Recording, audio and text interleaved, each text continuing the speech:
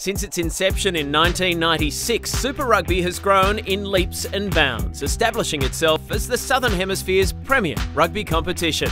Starting with 12 foundation teams, the competition grew to 14 and then 15.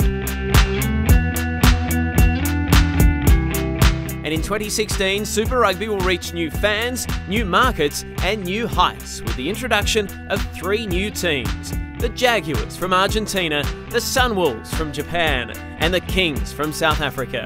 The new competition will consist of four conferences arranged into two groups, one from Australasia and one from South Africa. The Australasian group is made up of the Australian Conference and the New Zealand Conference, each containing five teams. The South African group contains two conferences with four sides in each.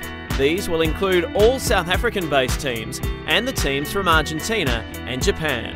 It's exciting, but it does mean a few changes to what you might previously have been used to. So here's what it means for Rebels fans. For the regular season, all you need to remember is the 6 5 4 rule.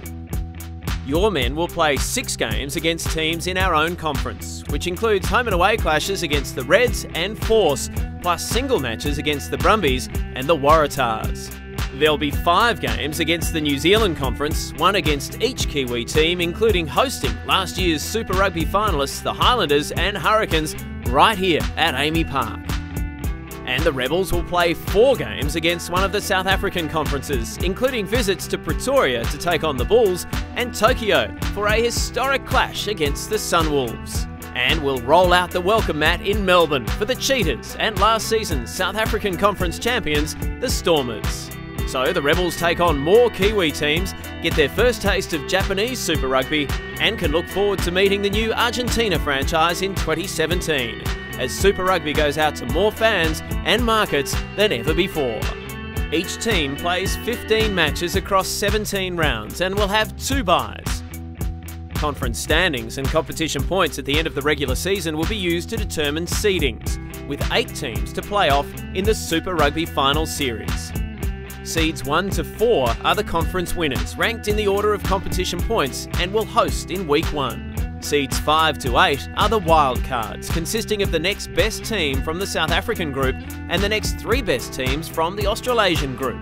These seedings will ensure that each conference is represented, with the higher ranked team earning the right to play at home.